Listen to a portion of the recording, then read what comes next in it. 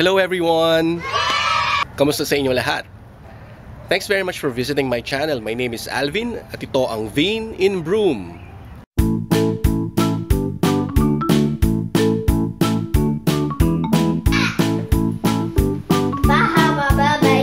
Where are we going,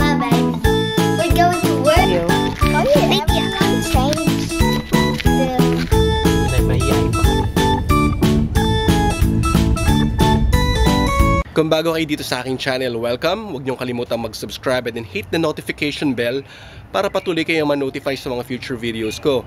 Sa mga balikbayan naman dito sa aking channel, welcome back. At uh, maraming salamat sa inyong patuloy na panonood. If you find this video useful, please like, share, and comment lang sa comment box para sa any feedback na meron kayo sa video na to.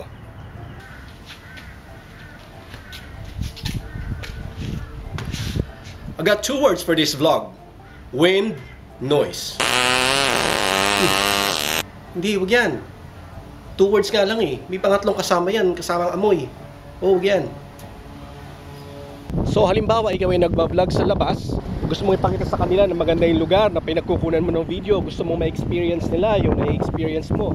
Pero kung ganito namang kalakas ang hangin, hindi rin magiging maganda ang viewing experience nila kasi distorted ang tunog ng mapapanood nilang video.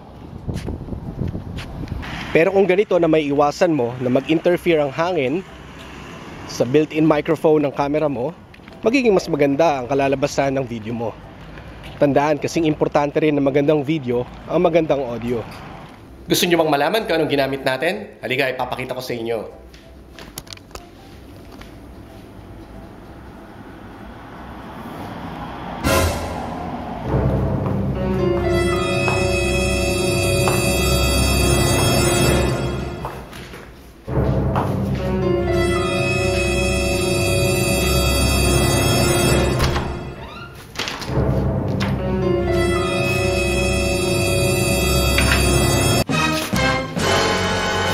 Charan! Ito, ordinaryong sponge. so ito yung ginagamit kong camera. Ganito yung itsura niya pagkatapos natin malagyan ng takip yung ah, built-in microphone. Dito na natatapos ang ating vlog today. Maraming maraming salamat sa inyong panonood. Kung bago kayo dito, welcome and thanks for dropping by. Thanks for visiting my channel. If you find this video useful, please hit like and subscribe and comment lang kayo kung ano mang mga natutunan nyo, ano mang gusto nyo sabihin tungkol sa video natin ngayon. Ah, sa inyo lahat na patuloy na nanonood, maraming maraming salamat. Hanggang sa muli, abangan nyo yung mga susunod nating videos na sana ay makatulong din sa inyo. Thank you very much and goodbye.